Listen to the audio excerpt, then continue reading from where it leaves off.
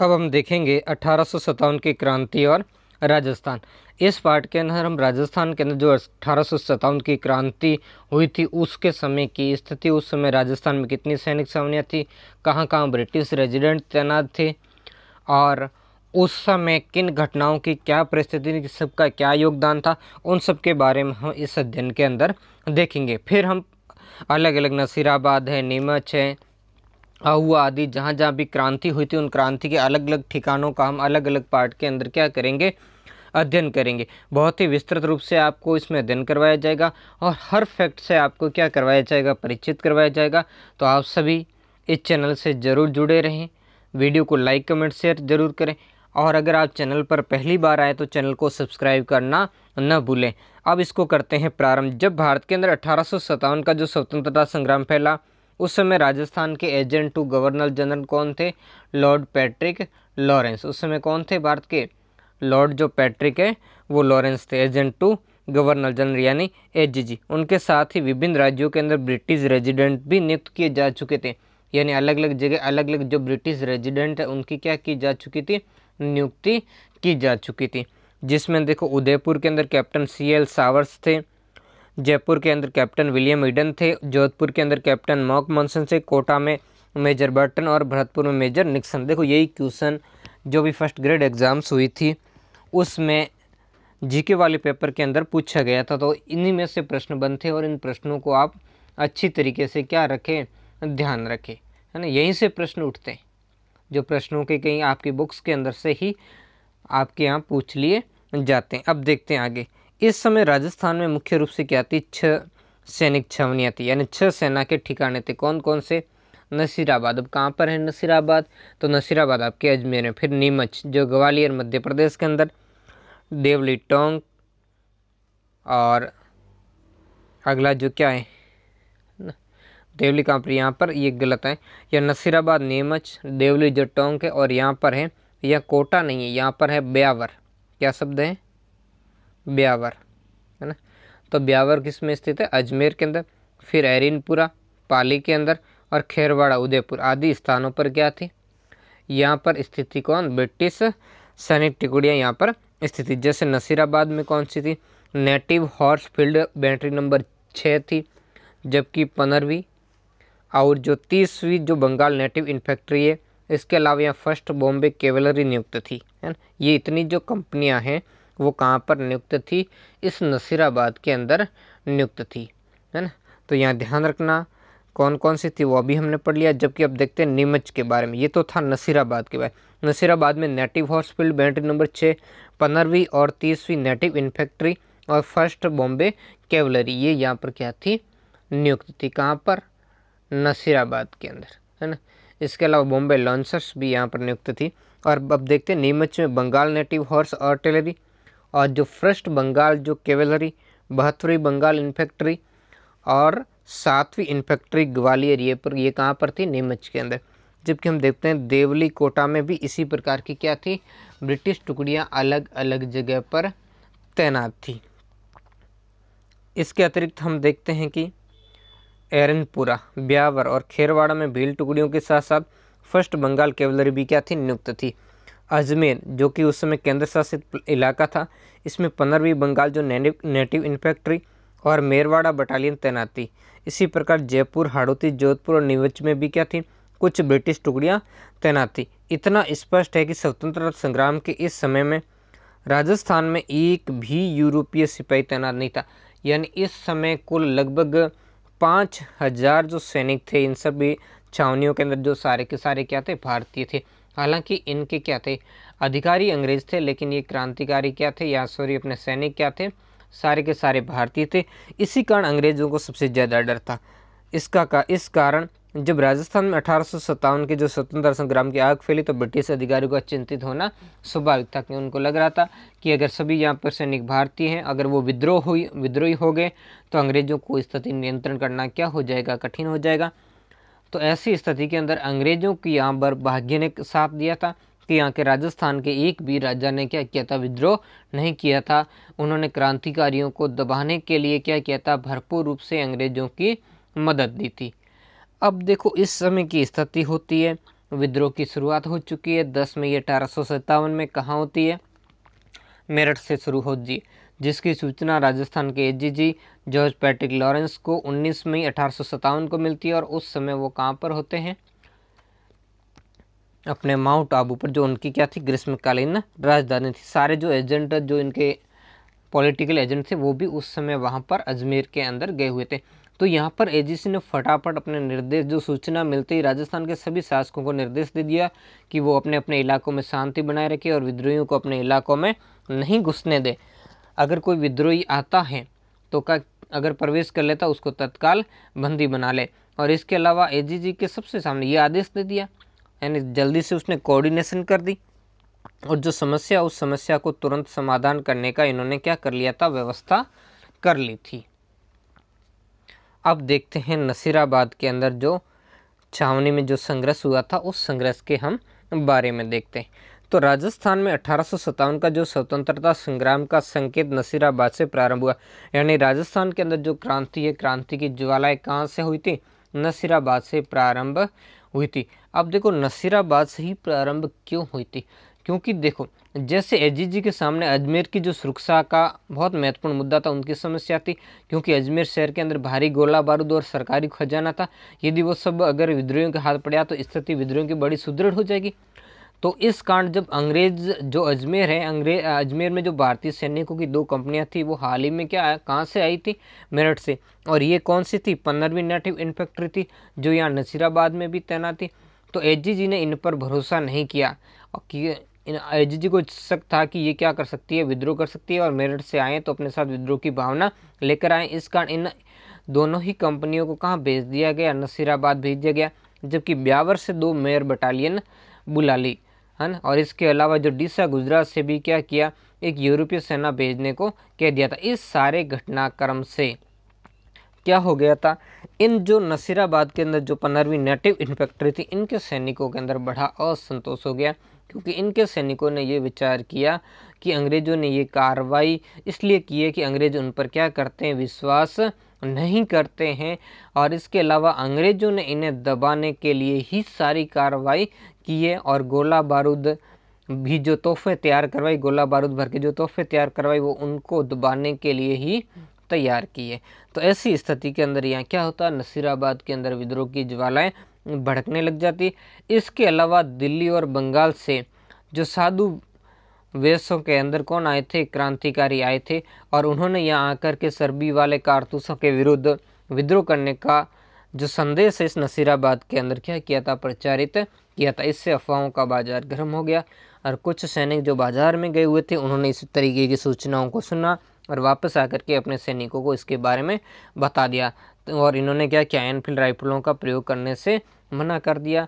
क्योंकि इनके क्या था, कारतूसों के ऊपर क्या जो टोपी है, जो कैप को दांतों से काटना था और जिसको कहा जाता था कि कारतूसों को चिकना करने के लिए गाय और सुअर की सर भी बनाएगी तो मिलाएगी। तो इससे हिंदू और मुसलमान दोनों ही सैनिकों में ये विद्रोह की भावना होगी, क्योंकि उन्हें ये पता चला कि अंग्रेज़ उनका क्या करना चाहते, दोनों ही धर्मों का क्या करना चाहते, धर्म नष्ट करना चाहते। हैं तो इसी बात को लेकर के यहाँ के सैनिक क्या कर देते हैं? विद्रोह कर लेते हैं। हालाँकि अंग्रेज़ों ने इस घटना के रिकवर करने के लिए क्या किए थे? तुरंत ये आदेश प्रचारित कर दिए थे कि वो ऐस जो चर्बी वाले कारतूस, उनका प्रयोग नहीं किया जाए, वो कारतूस वापस ले लिए गए थे। हालाँकि ये बात नहीं, फिर यहाँ एक और अफवाह फैल रही थी। वो अफवाह हम अभी आगे देखेंगे। वो अफवाह क्या थी?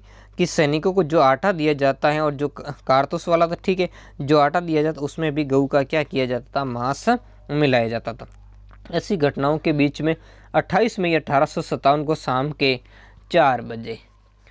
नसीराबाद के सैनिकों ने क्या कर दिया? विद्रोह कर दिया और ब्रिटेन की ओर से नसीराबाद स्थित जो सेनाओं को निशस्त्र करने का प्रयास किया गया, जिसने क्या किया? गया आग में घी डालने का काम किया था? यानी सैनिकों को जो आयु डिपो होता, वहाँ खड़ा करके उनसे हथियार लेने का प्रयास किया और यहीं से सैनिकों ने क्या कर दिया? विद्रोह कर दिया। तो ये अफवाह वाली बात हमने पढ़ ली थी, जो यहाँ आ रही थी।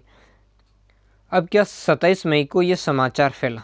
अब जब देखो, इससे एक दिन पहले सत्ताईस मई को भी ये समाचार फैला कि डीसा से यूरोपीय सैनिकों की एक टुकड़ी नसीराबाद आ रही है, जो क्या वहाँ स्थित सैनिकों का स्थल है। जैसा मैंने आपको बताया कि जब ये टुकड़ी पंद्रहवीं नाइट इन्फेक्ट्री जो अजमेर में तैनात है अजमेर से यहाँ भेज लिया तब डीसा से एक बटालियन बुलाई और उसको भी यहाँ बनाया लगा। कहाँ? नसीराबाद भेजा गया था और डीसा से बटालियन इस क्षेत्र में बुलाई गई।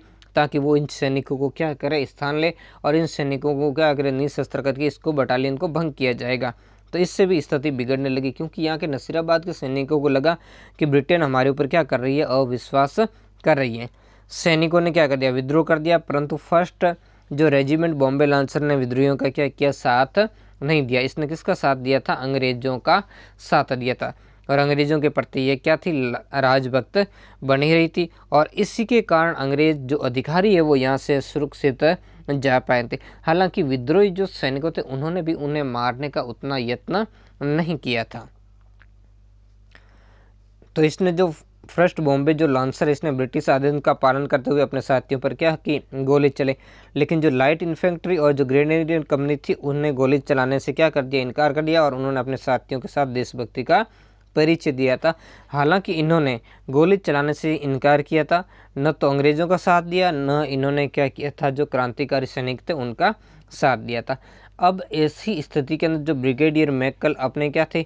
यूरोपियन साथियों के साथ इसमें इसको क्या होना पीछे हटने को बाध्य होना पड़ा, क्योंकि स्थिति बड़ी भयानक हो चुकी थी, उनके नियंत्रण से बाहर हो चुकी थी और उसके काफ़ी सारे जो अंग्रेज़ अधिकारी, जो साथी थे, वो क्या हो चुके थे, यहाँ से पलायन कर गए थे। साथ ही कर्नल पेनी, जो क्या थे कोर कमांडर थे घटना स्थल पर ही क्या मारे गई हालाँकि ये घटनास्थल पर यहाँ आए, बाकी जो कुछ बुक्स में लिखा है कि जब अंग्रेज़ जो अधिकारी यहाँ से क्या होते हैं, भागते हैं, है ना? तो यहाँ से जो भागते हैं, जब अंग्रेज़ अधिकारी तब रास्ते के अंदर ये कहाँ से जाने का निश्चय करते हैं? यहाँ से ब्यावर की तरफ़ जाते हैं। तो ब्यावर की तरफ़ जाते हैं, तब कर्नल पैनी क्या होता है? घोड़े के ऊपर सवार होता है और इस सारी स्थिति को देख करके इनके परिवार आदि सुरक्षा से चिंतित होकर वो भी साथ में थे। तो इसको क्या आता है? मार्ग के अंदर क्या आ जाता है? हार्ट अटैक आ जाता है, जिससे नर्वस हो जाता है और घोड़े से नीचे गिर कर सड़क पर गिरता है और क्या होता है? ये मर जाता है। और दो अन्य ब्रिटिश अधिकारियों की भी क्या हो जाती है? मृत्यु। दो अन्य ब्रिटिश अधिकारी कौन थे? एक तो था स्पोर्टिस वुड और दूसरा था न्यूब्री। ये नाम ध्यान रखना, ये पूछ लिया जाता कंपटीशन एग्ज़ाम के लिए बहुत ही ज़रूरी है।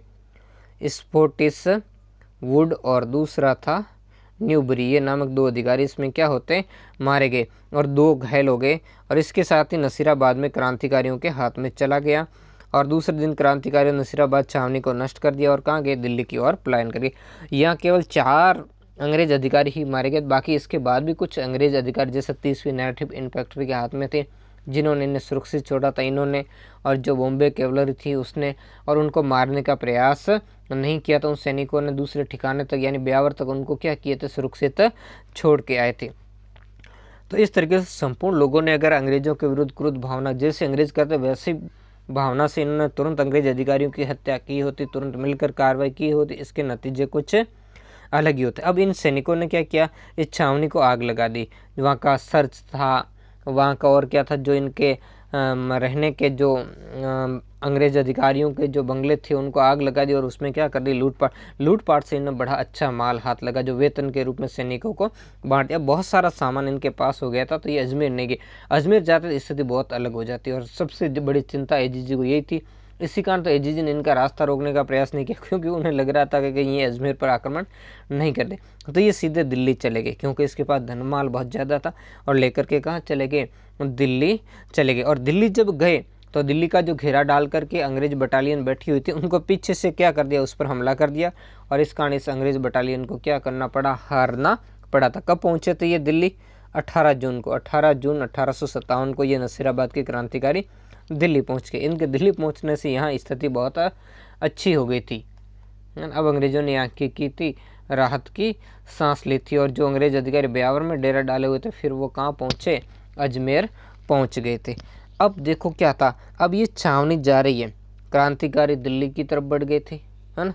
दिल्ली में जाकर हमला करे तो इसको रोकने का प्रयास किया था लेफ्टिनेंट माल्टर और लेफ्टिनेंट हितकोट। तो इनके नेतृत्व वाली सेनाओं ने क्या किया था?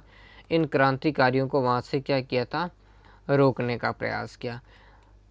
और इसके लिए लेफ्टिनेंट माल्टर और जो लेफ्टिनेंट हितकोट के नेतृत्व में लगभग एक हज़ार मेवाड़ के सैनिकों ने क्या किया क्रांतिकारियों का पीछा किया, लेकिन उन्हें क्या हुई थी? सफलता प्राप्त नहीं हुई थी। इस सफलता प्राप्त नहीं होने का मुख्य कारण क्या था? इनके साथ में जो टुकड़ियाँ थी, वो ज़रूर थी, लेकिन उनकी सहानुभूति क्या थी? इन क्रांतिकारियों के साथ में थी। इस कारण इनकी सहानुभूति क्रांतिकारियों के साथ होने के कारण ही क्या थी? अंग्रेज़ों को इस क्षेत्र में क्या थी? इच्छित सफलता है जो वो प्राप्त नहीं हो पाई थी। और दूसरा महत्वपूर्ण कारण था इसका कारण कि मेवाड़ और मारवाड़ के जो जागीरदारों ने क्या किया था? नसीराबाद के विप्लवकारी को अपने प्रदेशों से आसानी से गुजरने दिया और जो मारवाड़ और जयपुर, यानी जोधपुर और जयपुर की सेनाओं ने भी इसका मदद की थी, लेकिन फिर भी इसको वो रोक पाने में सफल नहीं हो पाए थे। इस तथ्य से इस बात का संकेत मिलना कि मेवाड़ और मारवाड़ की जो वहाँ के जो क्या थे लोग, यानी वहाँ के जागीरदार थे, लोग थे, उनकी सहानुभूति क्या थी, क्रांतिकारियों के साथ थी। इस कारण उन्होंने आराम से इन लोगों को अपने क्षेत्रों से क्या कर दिया गया? गुजरने दे दिया, यानी उन्हें रोकने का इन्होंने क्या किया था? कोई प्रयास इनके द्वारा नहीं किया गया। अब इधर क्या थे? ये सैनिक कहाँ पहुँच चुके हैं? दिल्ली की तरफ़ क्या कर गए? प्रस्थान कर गए। और जो इनके साथी पीछे रह गए थे, उन्होंने भी क्या किया? जिन्होंने विद्रोह नहीं किया था, अब वो विद्रोह करेंगे। ये विद्रोह का दूसरा चरण है। नसीराबाद के अंदर जो विद्रोह का दूसरा चरण हम पढ़ेंगे। अब देखो, होता क्या है? बारह जून अठारह सौ सत्तावन को डिस्सा से यूरोपीय सैनिकों की प्रथम टुकड़ी क्या होती है? नसीराबाद, जिसके बारे में पहले उत्तेजना फैलती है, अफवाह फैलती है, वो अफवाह अब हकीकत में बदल जाती है। जब नसीराबाद से जो बनाई यूरोपीय सेना की जो एक टुकड़ी थी, वो यहाँ आ जाती। क्योंकि उनकी, वहाँ जो राजकीय फौजों की उपस्थिति को उन्होंने क्या किया था, उचित नहीं समझा अतः जुलाई अठारह सौ सत्तावन में, जब डीसा से तियासीवीं जो रेजिमेंट हैं, हर मजेस्टिक रेजिमेंट और बारहवीं जो बम्बई नेटिव इन्फेक्ट्री और बम्बई जो कैवलरी के जो सैनिक थे, युद्ध वो कहाँ पर पहुँच गए? यहाँ पर पहुँच गए थे। अब ऐसी स्थिति में यहाँ की स्थिति बड़ी हो गई थी विकट। 10 जुलाई अठारह सौ सत्तावन को एजेंट गवर्नर जनरल के द्वारा इस टुकड़ी को नीमच भेज दिया। कौन सी जो डीसा से यहाँ पहुँची थी? इस घटना से नसीराबाद सैनिकों में पुनः असंतोष हुआ कि भाई पहले भी हमारे ऊपर अविश्वास किया गया। अजमेर से हटाकर यहाँ भेजा गया और यहाँ भी हमारे ऊपर अविश्वास किया। डीसा से बुलाया गया। और अब इसको जब डीसा से पलटना है तो उनको लग रहा है कि यहाँ के सैनिकों की योजना क्या है? सारे यूरोपीय लोगों की हत्या करने की। इस कारण जो डीसा से यूरोपीय सैनिकों की टुकड़ी आई थी, उसे नसीराबाद भेज इससे असंतोष हुआ। बारहवीं बम्बई नेटिव इन्फेक्ट्री की सैनिक इससे क्या हो गए? अत्यधिक उत्तेजित हो गई, है ना? तो यहाँ पर इसमें जो बारहवीं बम्बई नेटिव इन्फेक्ट्री और बम्बई कैवलरी के जो सैनिक थे, वो बड़े उत्तेजित हो गए। और ये बात कब की है? ये अगस्त की है। अगस्त अठारह सौ सत्तावन को बारहवीं जो नेटिव इन्फेक्ट्री उनके सैनिकों में क्या फैली? उत्तेजना फैली और वो लोग विद्रोह पर क्या हो गए? उतारू हो गए। लेकिन अंग्रेज़ बड़े तैयार थे, है ना? अंग्रेज़ बड़े क्या थे? तैयार थे। अंग्रेज़ तैयार थे तो इसी कारण अंग्रेज़ों ने शीघ्र इन्हें क्या कर दिया? निशस्त्र कर दिया, यानी उनसे शस्त्र छीन लिए गए और शस्त्र हीन कर दिया गया। 10 अगस्त अठारह सौ सत्तावन को बम्बई कैवलरी के सैनिकों ने अपने, वही कैवलरी जिसने पहले साथ दिया था अंग्रेज़ों का। और अपने साथियों की मदद नहीं की थी। अब उसकी बारी तो इस तरीके से धीरे धीरे जो विद्रोह होते थे, उस कारण अंग्रेज़ों को दबाने में बड़ी आसानी हुई। इसके सैनिकों ने कमांडर के आदेश मानने से इनकार कर दिया और अपने अन्य साथियों को भी इसका अनुसरण करने को कहा। उनसे भी कहा, आप भी ऐसा ही करें और अंग्रेज़ों का जो आदेश है उनको नहीं माने। लेकिन परंतु अंग्रेज़ जो ब्रिटिश सरकार ने कठोर यहाँ कदम उठाए, क्योंकि पहले से जो यहाँ क्रांति हो चुकी थी, इस बार ब्रिटिश सरकार क्या थी, बड़ी ही तैयार थी। तो उसने यहाँ पर फटाफट क्या किया? एक सैनिक को क्या कर दी? गोली मार दी गई। यानी जब पहले इसको क्या किया? शस्त्रहीन किया। फिर जो 10 अगस्त अठारह सौ सतावन को बम्बई कैवलरी का एक सैनिक था, उस एक सैनिक ने क्या की? अव्यवस्था उत्पन्न करने की यहाँ प्रयास किया और अपने साथियों को भी विद्रोह करने के लिए जब उसने प्रोत्साहित किया तो इस साथी को अंग्रेज़ों ने क्या कर दी? गोली मार दी और इसके टुकड़े टुकड़े कर दिए। और पाँच जो इस बारहवीं जो बम्बई नेटिव इन्फेक्ट्री है, इसके पाँच जो और सैनिक यानी जो पाँच इसके मुख्य नेता थे, उन मुख्य नेताओं को क्या कर दिया, फांसी पर लटका दिया और शेष सभी भारतीय जो थे सैनिक, उनको क्या कर दिया? उनसे क्या कर दिया? निशस्त्र कर दिया और उनको यहाँ पर छोड़कर सावनी को चला जाना। यानी पच्चीस ऐसे सैनिक थे जिनको क्या किया, सावनी छोड़कर के बाद में जाना पड़ा, क्योंकि उनसे हथियार ले ली गए। तो इस प्रकार जो नसीराबाद के नपुन सुलगती क्रांति को क्या किया, अंग्रेज़ों ने तत्काल रूप से दबा दिया और इसके बाद में एजीजी ने यहाँ पर आदेश दे दिया कि नसीराबाद के अंदर उपस्थित जो भी हिंदू सिपाही, उनको सेवा से क्या कर दिया जाए, मुक्त कर दिया जाए। तो इस तरीके से हम देखा कि इस जो सुलगती आग को अंग्रेज़ों ने क्या कर दिया, तुरंत ही इस पर काबू पा लिया था, यानी उस तुरंत ही समय के अंदर, जिससे क्या हुआ, इस क्षेत्र में फिर क्रांति की जो ज्वाला है, वो आगे नहीं बढ़ पाई थी।